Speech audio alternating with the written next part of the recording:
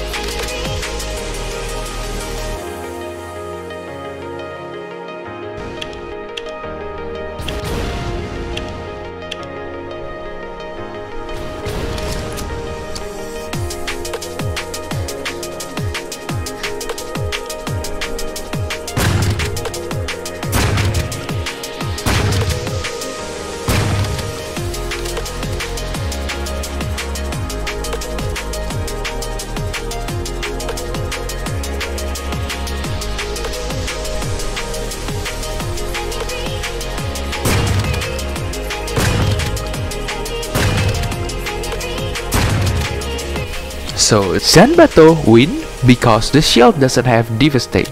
If the shield has Devastate, then the damage will be the same. But if your gun already have Devastate, having shield with Devastate won't reduce enemy armor by 4. It's still 2. Devastate doesn't stack, so if your gun already have Devastate, there is no need to buy Devastate shield anymore.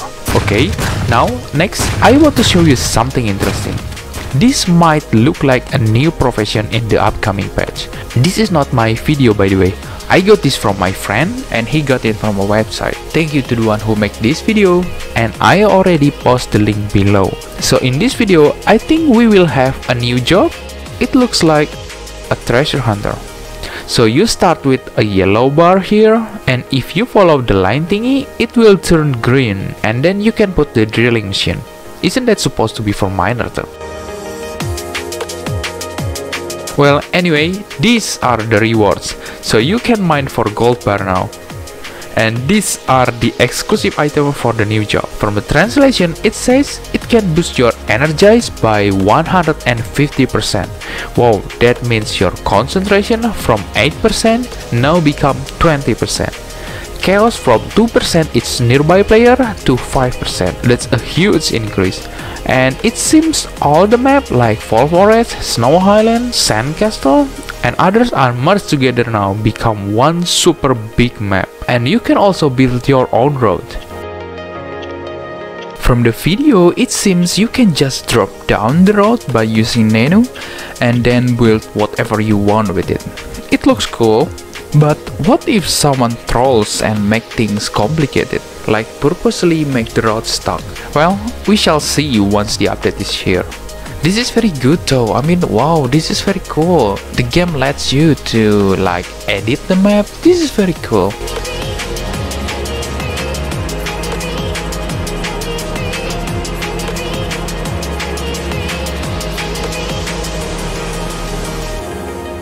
You also can send your items from the field to your manor using this mailbox thingy without going to NPC.